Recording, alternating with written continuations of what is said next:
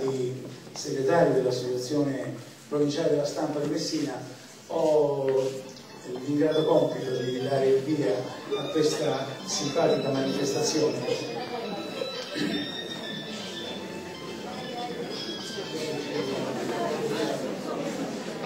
Di dare il via a questa manifestazione, a questa cerimonia, a questo incontro tra amici che abbiamo voluto organizzare in onore di Carmelo Garofalo. Dire Carmelo Garofalo a Messina significa dire eh, qualche cosa che ha un significato molto molto importante per noi giornalisti, ma direi che al di fuori del nostro mondo, il mondo dell'informazione, il mondo della città, quella che ha vissuto eh, dalla fine della guerra fino, fino, ad oggi, ha un particolare significato, perché Carmelo eh, Garofalo ha attraversato in questi suoi 70 anni di attività professionale tutto quello che dal 1946, io dico, dalla fine della guerra fino ad oggi, eh, ha significato Messina. Lui ha continuato la tradizione che aveva eh, iniziato quando,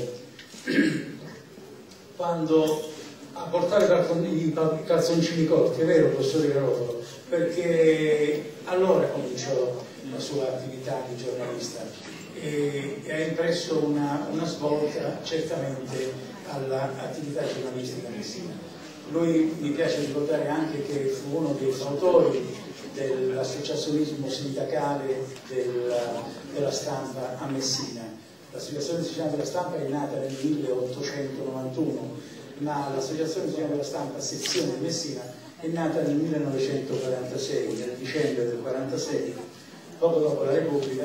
E quindi tra poco facciamo, noi facciamo 65 anni, un po' meno di quelli che fa il professore Carmelo Garofalo e quindi stiamo cercando di organizzare anche noi altri qualcosa per ricordare questo evento, perché ormai eh, gli eventi si succedono, le, le ricorrenze. E quindi io ho, ho solo il compito di ringraziare ringraziare tutti coloro che hanno voluto partecipare e far sentire con la loro partecipazione eh, la vicinanza eh, di tutti a Carmelo Garofalo.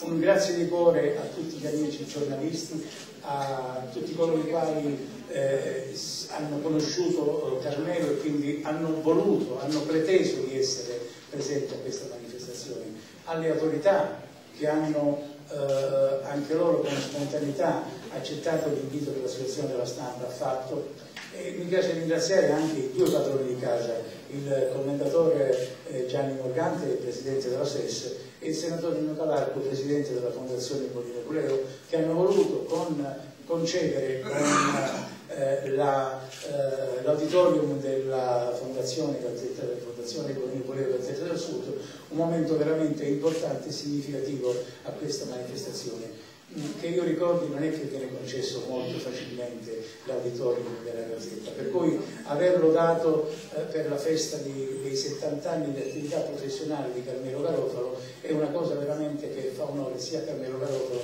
sia a tutti i giornalisti sia alla Fondazione Polino Polio Ricordate 70 anni di attività professionale eh, risulta riscritto all'albo, se non ricordo male, il 18 ottobre del 1941.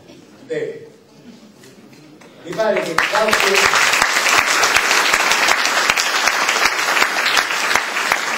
Mi pare che soltanto una cinquantina di giorni dopo eh, il Giappone attaccò per Albur, mi pare, vero? non c'è. Benissimo, allora a questo punto io ho finito il, il mio compito e io cederei la parola al senatore Calarco. Subito? Allora facciamo parlare il presidente regionale dell'ordine dei giornalisti Vittorio Corradino.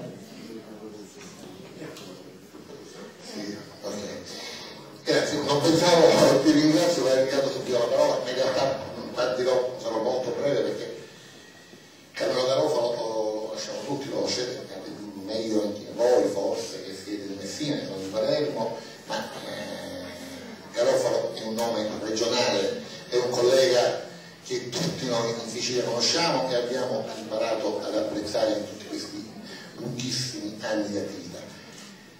il, il messaggio, quindi non vi dirò cosa, cosa, eh, cosa possa essere inerente al, al, al collega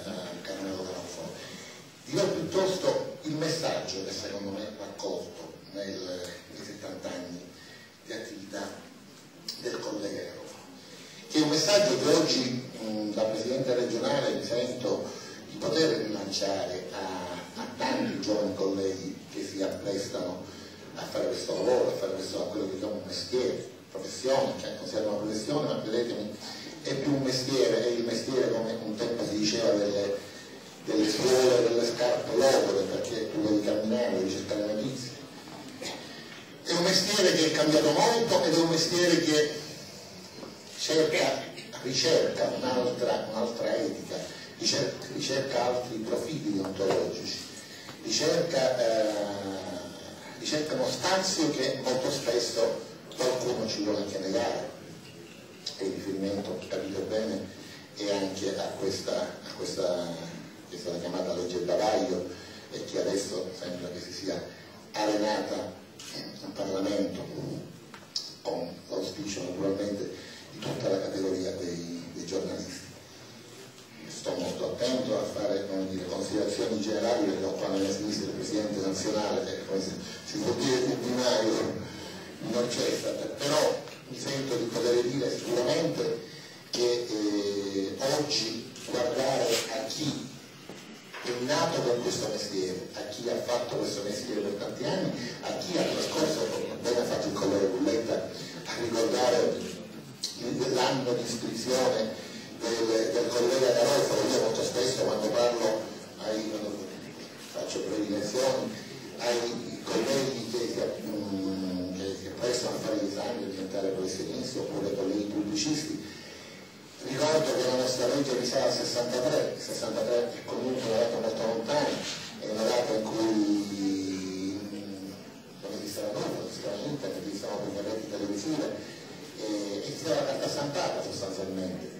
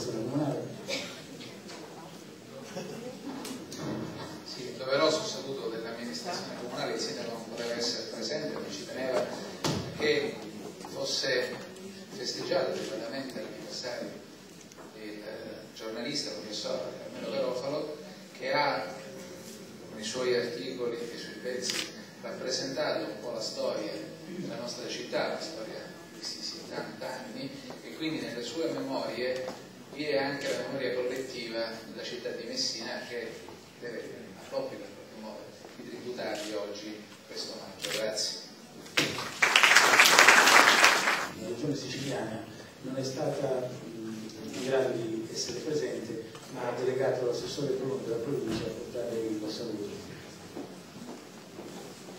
Eh, buongiorno, non sono più assessore alla provincia, sono una dirigente dell'assessore Chimici, per questo da lei delegata. E comunque lo faccio con grande affetto perché anch'io sono molto legata al professore Garofalo e negli anni ho potuto apprezzare i suoi scritti e tutto ciò che ha fatto per, la, per, questa città, ma soprattutto la sua passione. Quindi grazie professore Garofalo. Adesso leggo eh, una lettera inviata dall'assessore Chimici eh, indirizzata sia al dottore Bulletta che al professore Garofalo.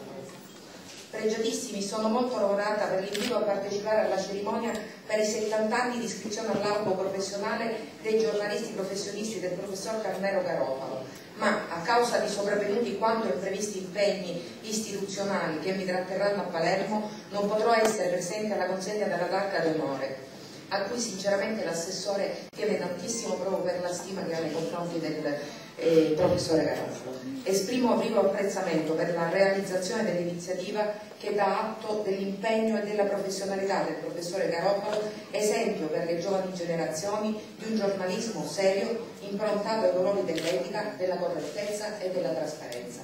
Voglio altresì ringraziare in questa occasione il professore Garofalo in particolare che ha sempre avuto parole di apprezzamento e di incoraggiamento per la mia attività, sia come magistrato che in atto come assessore regionale, spronandomi così nell'impegno di offrire strumenti efficaci e risposte concrete ai problemi della nostra terra. Certa del successo di questa iniziativa, formulo le più vive congratulazioni al professore Garofalo per la sua brillante carriera. Grazie.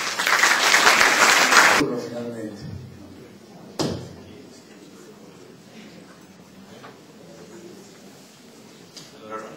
Non prendo le distanze dal Presidente dell'Ordine regionale che è il comandante, che è il comandante territoriale per cui mi tocca parlare.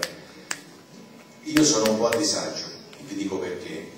Perché è evidente che siete gli amici di Carmelo Garofalo, che lo avete conosciuto, frequentato, apprezzato, perché altrimenti non sareste qui. Io, pur avendo frequentato questa città mi sono laureato a Messina, eh, vengo da Reggio Calabria, pur avendo frequentato questa città non ho avuto l'opportunità di incontrarlo in nessuna delle sue molteplici attività, neanche, neanche all'università perché io facevo giurisprudenza, ero vittima di Salvatore Gugliatti, quindi non, non, non ci siamo incrociati. Eh, è, è, un nome che ricordo con affetto, insomma, con, con grande affetto guardando a episodi recenti della vita dell'università eh, con grande nostalgia, con grande nostalgia della trasparenza dei comportamenti anche del musicologo Salvatore Fugliatti, cosa che non molte sanno. Vi dico, mi trovo, mi trovo un po' a disagio perché forse non ho delle cose da dirvi sulla sua vita, che del resto conoscete, quindi francamente sarebbe superfluo, però posso dirvi quello che leggendo alcune sue cose che cortesemente Peppino, anche altri amici hanno avuto la cortesia di mandarmi, eh, posso dirvi quello che eh, il suo percorso professionale con alcuni articoli che ho avuto modo di leggere mi hanno trasmesso. La prima cosa è questa, è una di quelle persone che mancano oggi nella nostra professione. Cioè, oggi la carenza maggiore che c'è all'interno delle nostre redazioni, per come sono ridotte, direttore, ormai, le redazioni numericamente, è la figura di chi insegna ai giovani. Sono quelli che noi chiamavamo i maestri, eh, di solito avevano, non conoscendolo, non posso dire se rientra nel cliché tradizionale, avevano un cappellaccio e fumavano permanentemente un sigaro, avevano permanentemente in bocca un sigaro e ti trattavano malissimo, facendo il tuo bene e facendoti crescere professionalmente. Queste persone non ci sono più, le redazioni come sapete sono diventate a causa di molti fattori, non solo per la crisi economica o della crisi del settore, sono diventate quasi delle, delle lande deserte, fatte salve, fatte salve le eccezioni ma mancano queste persone che avevano voglia di regalare agli altri, ai più giovani, eh, il loro sapere. Io ho dei ricordi dolcissimi, vi citerò un nome che probabilmente al senatore Calarco dirà qualcosa, ma quello di Cesare Rivelli che mi fece fare tre o quattro volte eh, lo stesso pezzo di 40 righe, che allora era niente, perché era, era come una breve di 10 righe di oggi, e quando alla fine lo scrissi così come lui desiderava fosse, mi disse ora è perfetto, senza intanto, frattanto, dal canto suo, peccato che sia tardi e lo butto nel cestino. Queste cose non succedono più, io l'ho odiato in quel momento, ma l'ho amato come se fosse il mio papà dopo, perché mi aveva penso di aver scritto svariate migliaia di articoli, non troverete né un intanto, né un frattanto, né un accanto solo, per fare un esempio. Queste sono le persone che mancano nelle nostre redazioni, che erano nei nostri giornali, nelle nostre emittenti, che erano il patrimonio vero attraverso il quale si tramandava il sapere.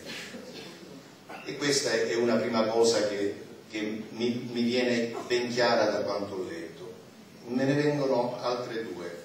Una l'ha evocata il comandante territoriale Corradino. Eh, io la penso come Carmelo Garofalo sulle intercettazioni. Forse non siamo completamente in linea con il Presidente dell'Ordine regionale, non che voglia la legge Bavaglio, sia chiaro, insomma, contro la quale proveremo a fare tutto quanto è possibile, ma eh, sono contro l'idea che i giornalisti siano delle buche delle lettere e che eh, contro i giornali che pubblicano intere pagine di sbobinati di intercettazioni attraverso le quali strage dei diritti delle persone non solo e non tanto, e ne hanno anche loro, dei responsabili dei reati, perché noi evochiamo molto spesso la Costituzione della Repubblica che prevede la presunzione di innocenza, ma la evochiamo solo quando ci fa comodo, la, la rispettiamo. Ecco, non solo e non tanto, ma soprattutto e con particolare crudeltà nei confronti di persone terze che vengono coinvolte da un'attività investigativa che è essenziale così evitiamo equivoci. Io ho letto un, un articolo non lungo di settembre di quest'anno nel quale queste, ho ritrovato eco di queste perplessità che condivido.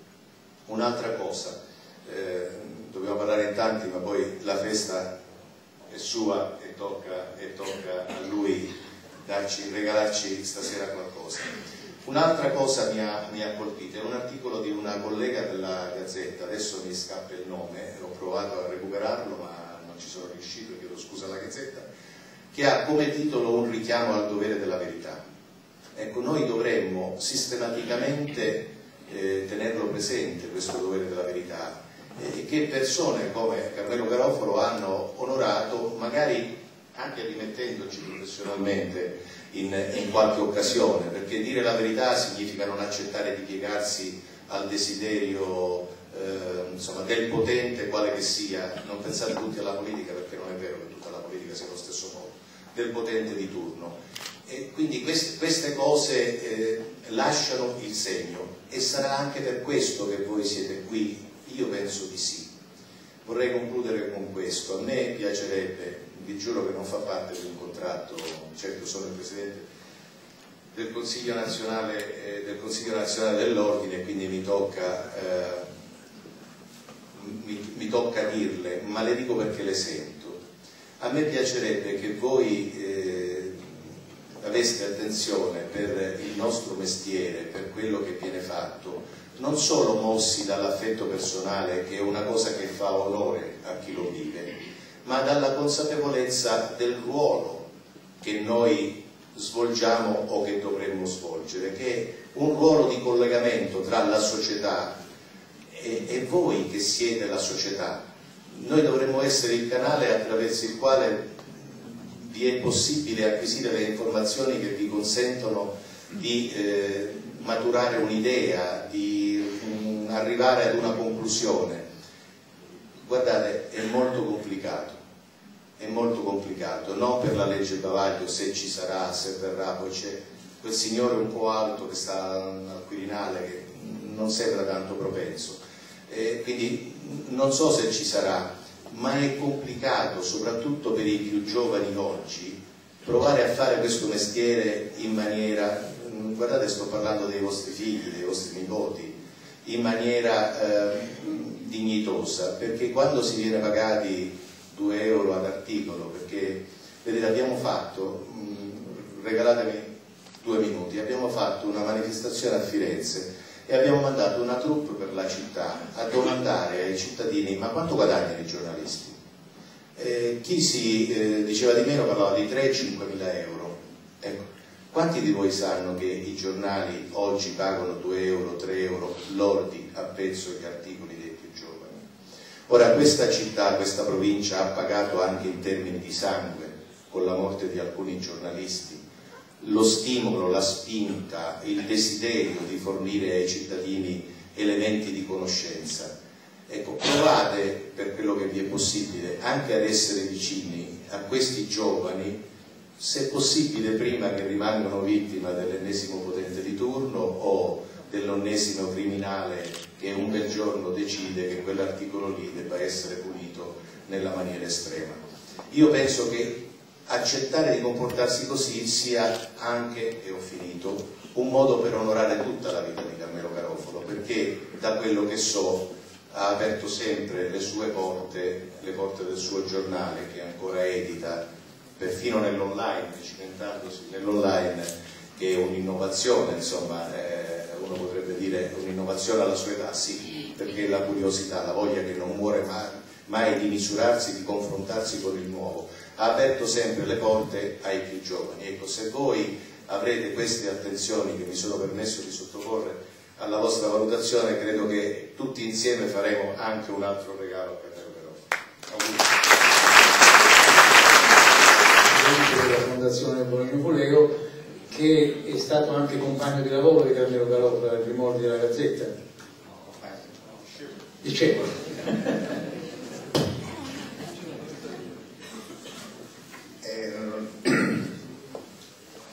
Io parlo anche a nome di Gianni Morganti, perché abbiamo sempre costituito un tandem come Gianni Morganti e abbiamo avuto questo rapporto sempre con Carmelo Garofalo. Risale agli anni nostri scolastici, allorché un professore, il professor Marcello Danzè, che era corrispondente di un giornale napoletano, doveva fare una, un resoconto di dieci righe, allora sto parlando 1949, resoconto su una partita di pallacanestro. E questo professore, che era un pubblicista così,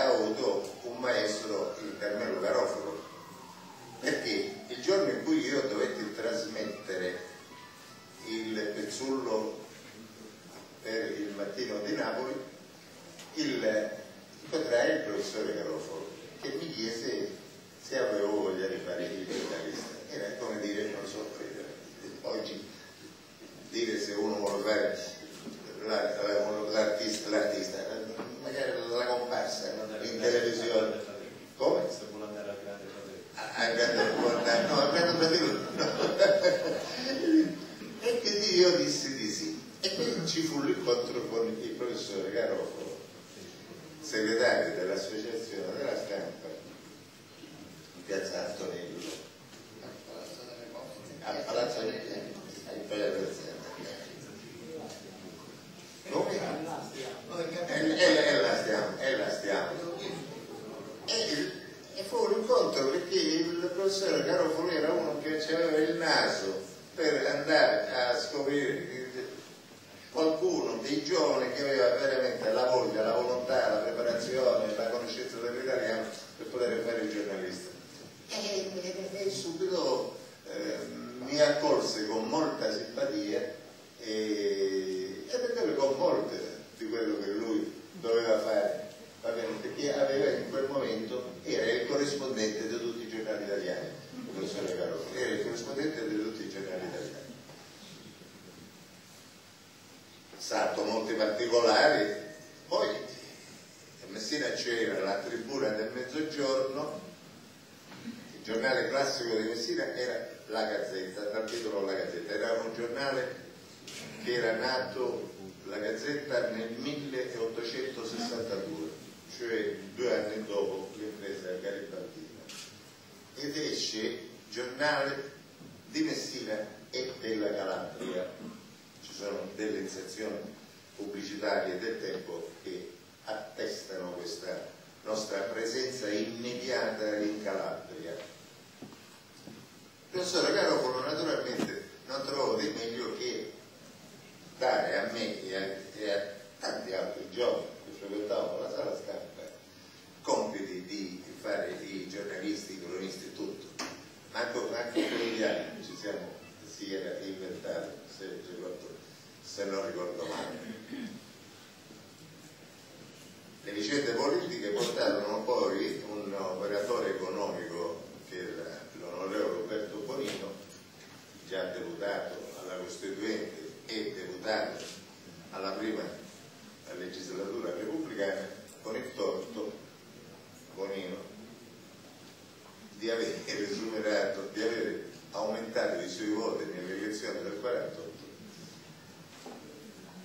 a fronte di una retrocessione di voti da parte del capo del capo lista del Partito Liberale, una persona degna, diciamo, che ci ha onorato Messina come l'onorevole Gaetano Martino.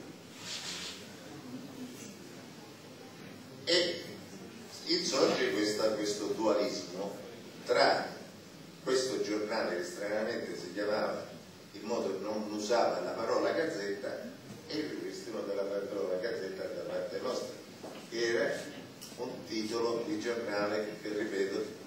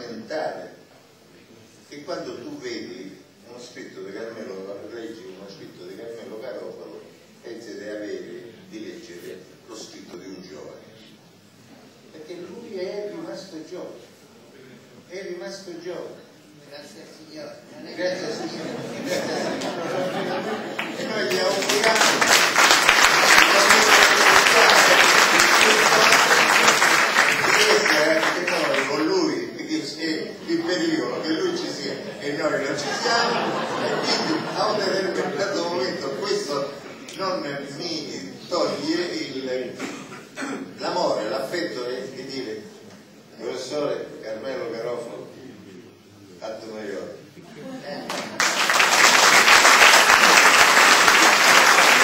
Eh, di noi eh, sarebbe il caso che parlasse lui, il festeggiato. Infatti sembra si dia che leggerà un telegramma del capo dello Stato. Questa è la novità, vedi la notizia l'ha tenuta nascosta fino all'ultimo, da buon cronista se l'è tenuta per sé. C'è un messaggio del capo dello Stato che mi pare che non avvenga tutti i giorni, eh?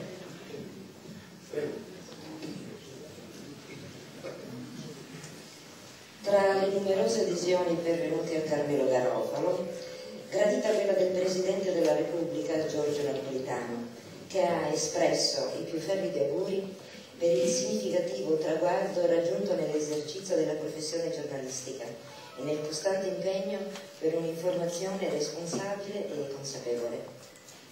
Dovrei continuare perché c'è un altro messaggio importante così lo finisco.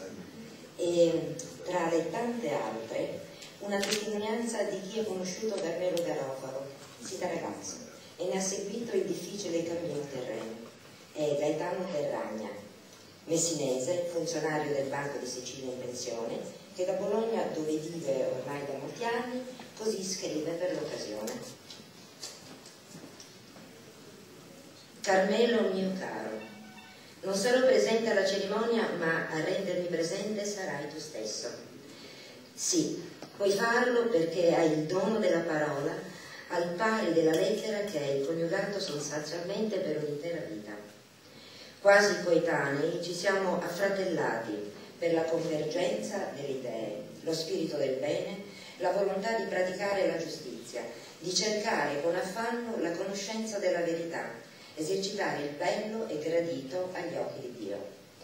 Ti sei plasmato da solo in virtù del carisma effuso dallo spirito della verità, che hai appena realizzato. Hai affrontato la vita a volte traversale e amara, con l'impeto eroico di un milite che non conosce ostacoli e deve giungere ad ogni costo alla meta. I tuoi 70 anni di giornalismo non conoscono il riposo della penna di fronte agli ostacoli di molteplice natura, politica, sociale, sportiva, educativa, caritatevole sempre in difesa dei deboli e degli emarginati. Hai fatto rinascere in dignità e prestigio lo sport calcistico di Messina, sopito e abbandonato dagli eventi dolorosi post-bellici.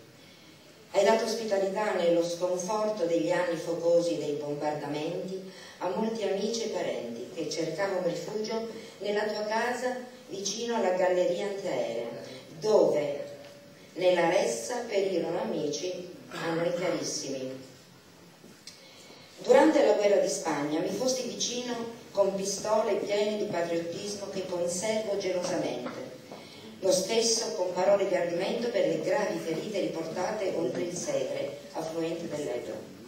Questo lo dico per segnalare l'ampiezza della tua generosità, che non deve essere posta sotto silenzio in quest'ora solenne che ti vede festeggiato anche per la vivacità del tuo spirito sensibile.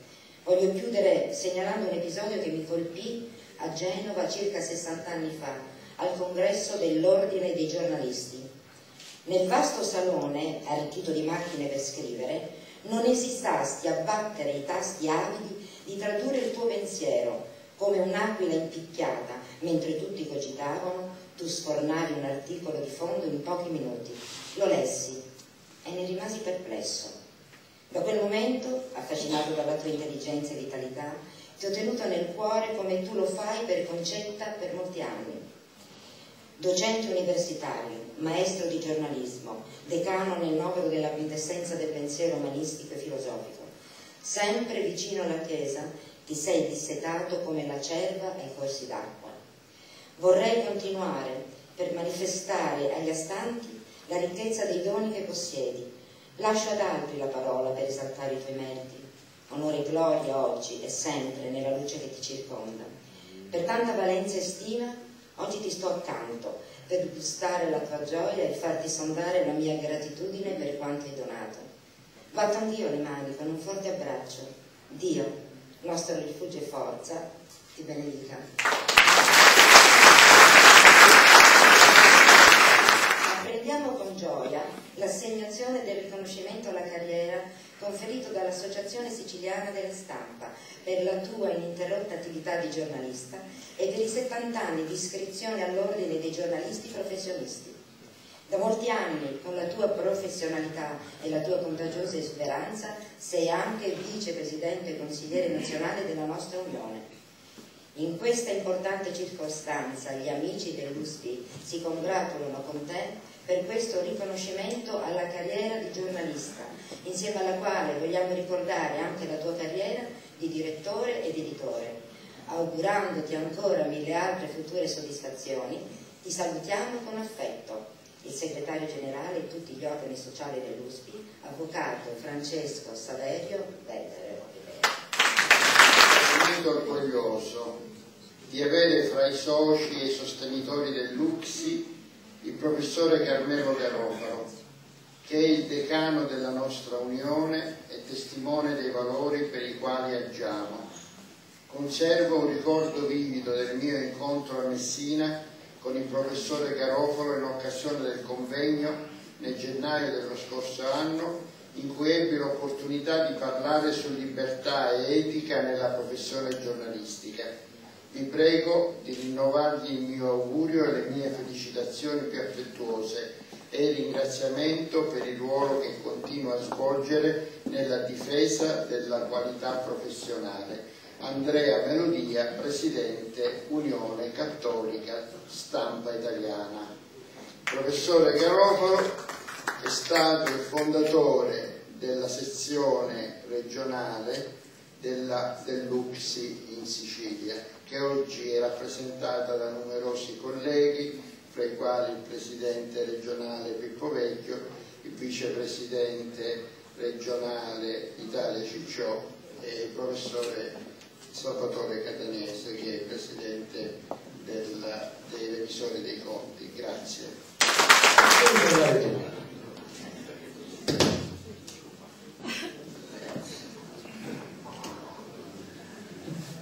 scusate se rimango seduto, è l'ora allora che io mi confessi a voi per farmi assolvere soprattutto dal peccato di avervi rubato qualche ora di questo pomeriggio.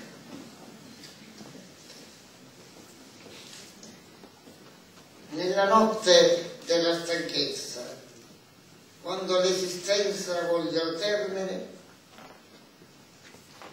è gioioso ristorarsi godendo della vista di tante personalità amiche e di tanti amici.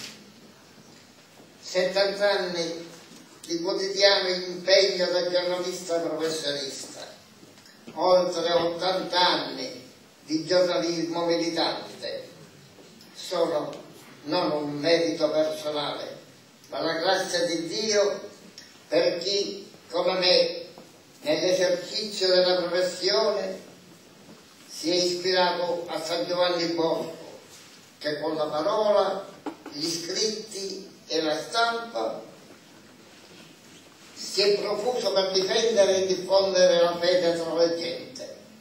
San Giovanni Bosco, che mi ha insegnato a usare correttamente e validamente i ferri del mestiere, i vari strumenti della comunicazione sociale per farne mezzi di comunicazione e di formazione della pubblica opinione, sempre al servizio della verità, nel rispetto della dignità altrui. In linea quindi, sin da ragazzo, con il principio fondante dell'ordine dei giornalisti, al quale mi onoro di appartenere sin dal 1940 con l'inizio del praticantado, al termine del quale mi venne donata dal direttore della Gazzetta Rebellica Ivano e Fossani la penna d'oro. Al momento dell'iscrizione, il 12 ottobre 1941, esattamente 70 anni or sono oggi, nell'albo dei giornalisti professionisti. Dopo otto anni di manovalanza che mi condussero, guidato da insigni maestri indimenticabili, tra i quali soprattutto Ivano Fossani, il direttore, Giuseppe Longo, Gaspare Cresti, Pietro Manno e per la preparazione tecnico-professionale dall'indimenticabile e onnipresente prodo della gazzetta di prima della guerra, Pasqualino Morgante.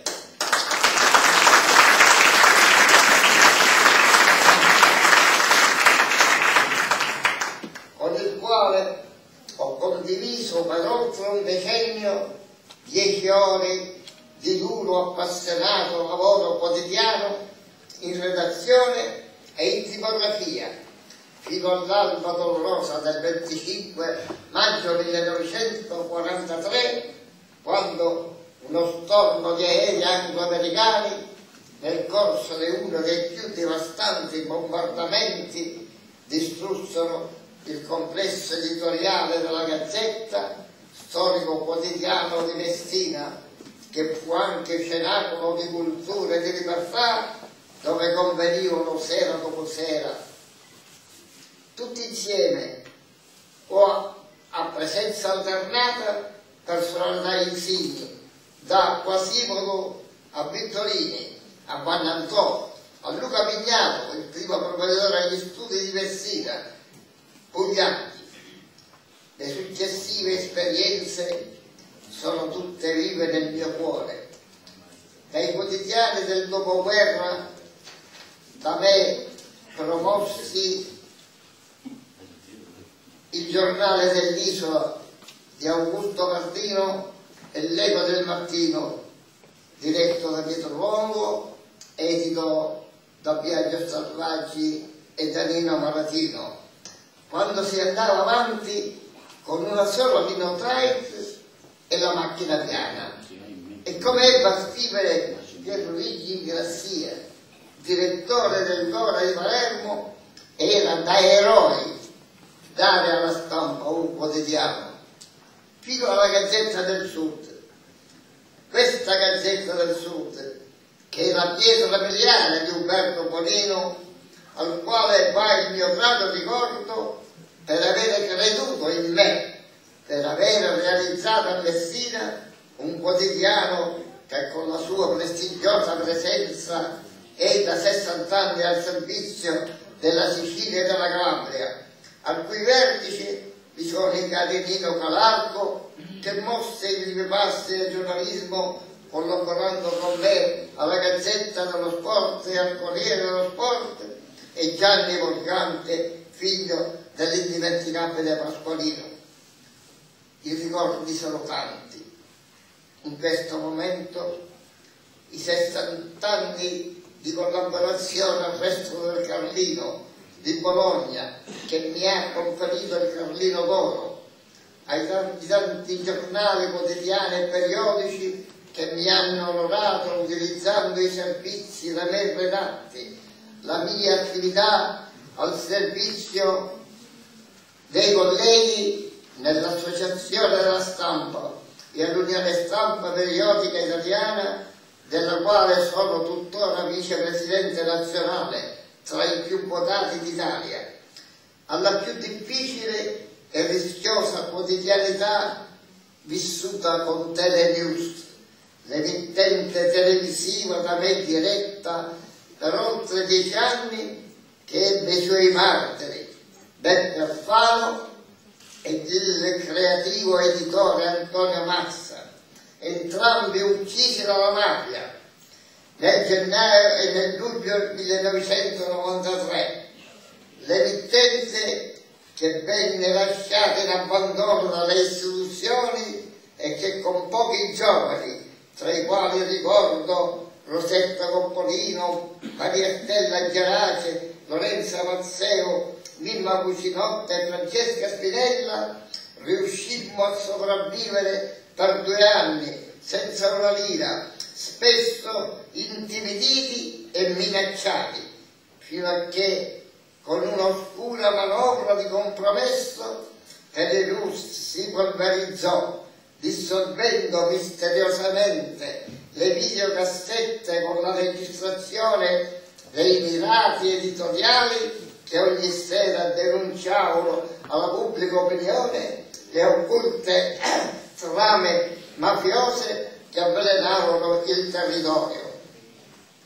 E sarebbe stato possibile da quelle videocassette trarre spunti necessari a fare luce sui tre delitti eccellenti di Barcellona di Cotto, di Cotto del 91-93, quelli che riguardano in 18 mesi il consigliere comunale repubblicano Salomone, Beppe Alfano e Antonio Massa incomprensibilmente disattesi perfino dalla pura ammirevole combattività dell'onorevole Sonia Alfano. Ricordi, tanti rimpianti, ricordi tanti, rimpianti nessuno, tantomeno rancori. Una parola cassata dal mio vocabolario cronista di Nera a 16 anni e nello stesso tempo già inviato speciale per gli eventi sportivi, per non avere passato una notizia venni licenziato. Per essere riassunto 24 ore dopo con stipendio raddoppiato. Erano 10 lire quindi 20 lire al mese. Avendo spiegato che non mi sembrava opportuno pubblicare la notizia dell'arresto di un mio coetaneo che digiuno da tre giorni si era impossessato furtivamente di un filoncino di pane perché in avvenire sarebbe stato additato per ladro e quindi emarginato dalla società. Una lezione di etica professionale che dovrebbe essere insegnamento per tutti, perché ricordiamocene sempre,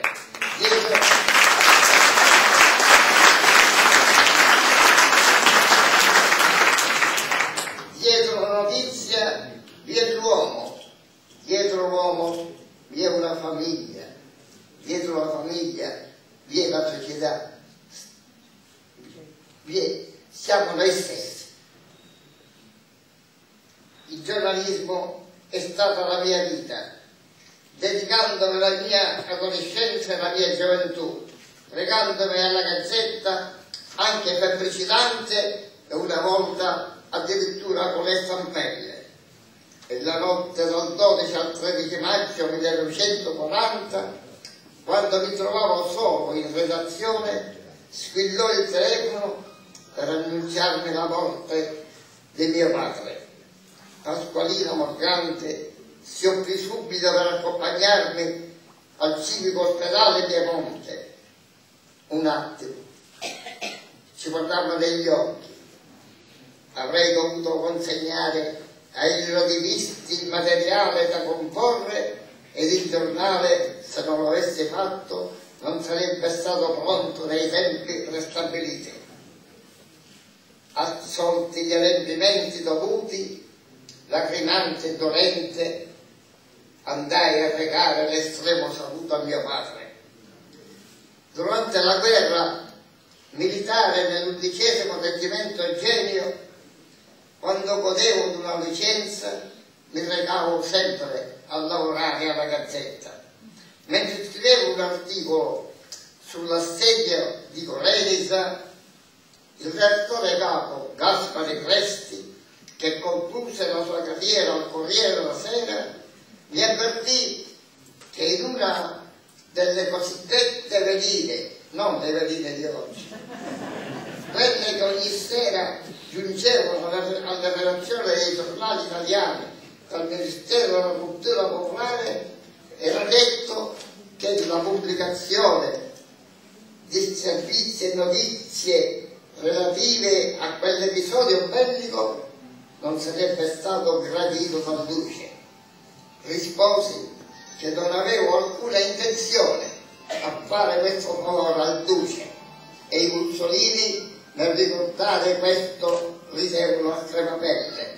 E l'articolo uscì regolarmente sulla gazzetta senza che nulla capitasse né a me né al direttore Ivano Fossani che spesso, molto spesso veniva ricevuto da Mussolini insieme all'arcivescovo del tempo, Monsignore Angelo Paino, e che ottenevano i fondi necessari alla ricostruzione della città di Messina ancora distrutta, ancora macerie a seguito del sisma del 1908. E l'essere riuscito infine, con la collaborazione di Aldo Sgroi, allora praticante, dell'oceanografo Angelo Cavola, dell'inotequista Mondolfo e del proto Salleri, a pubblicare l'Eco del Mattino il 15 luglio 1948, l'unico giornale italiano stampato dopo l'attentato a Palmiro Togliatti e tante altre battaglie sostenute sempre nell'interesse dei siciliani e del territorio, tra i quali quelle contro la macchina di Cefalù che aveva bloccato i lavori dell'autostrada Messina-Palermo, il cui consorzio era al tempo presieduto dall'avvocato Vincenzo Ardezzoni. Il mio credo è stato un giornalismo autentico, senza padrini e senza padroni, voce libera, espressione soltanto dell'uomo responsabilmente impegnato nell'informazione.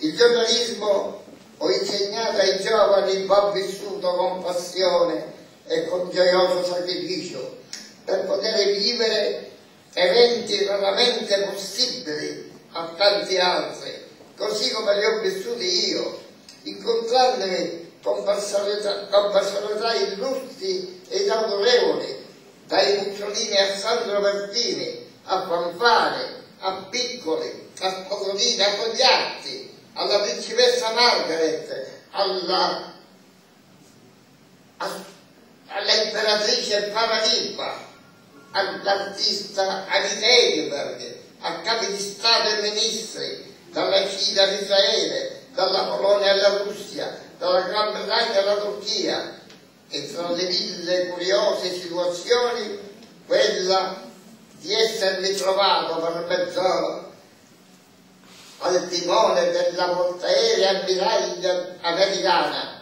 la Forestal, dal comandante affidatomi perché convinto che io fossi capace di navigare nei mari tempestosi della vita quotidiana senza paure, senza tentennamenti, ma con la sola fede in Dio e l'amore per il prossimo mio.